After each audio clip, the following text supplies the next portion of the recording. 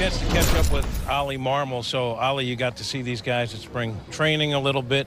What do you think of the ball club that you have here? I'm really looking forward to what we have here. We have a combination of uh, some veteran guys that are really good at what they do, uh, that bring a ton of leadership to this club, and then uh, a mix of some guys that are over the hump of trying to prove that they belong here and they truly believe that no, this is exactly where I belong. Um, and the Harrison Baders and the Carlsons and that group. Um, so it's a great mix of guys that uh, have prepared well for the season, and I think it's going to go really well.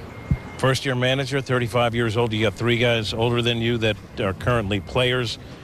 Pretty good guys to have on your roster. Just your thought about handling that situation? What's that going to be like? Uh, the only time I think of it is when you ask me about it. Um, and it never comes to mind. Um, I carry myself in a way where I want to make sure that I'm respecting the heck out of these guys and that I'm prepared in order for them to respect me. And uh, outside of answering the question, I never even think about it. It's hard to match that style of leadership between those three guys.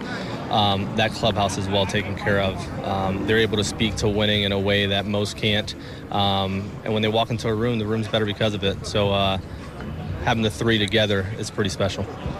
And when you have a guy like Albert Pujols added to the roster, starting opening day, my guess is, at least I thought, and I know you saw my tweet, it wasn't a lot of thought that he was going to be in the starting lineup. Uh, no, there wasn't. Uh, when you got, I mean, for several reasons. Uh, one, he's going to give us a really good chance to win tomorrow, and when you have a motivated Albert, it's a scary thing. It really is. So I'm looking forward to seeing that. It, I think it'll be special for not only the team but all the fans here. Um, but this is a guy that's, I mean, he's really looking to contribute, and that's what we're looking forward to as well.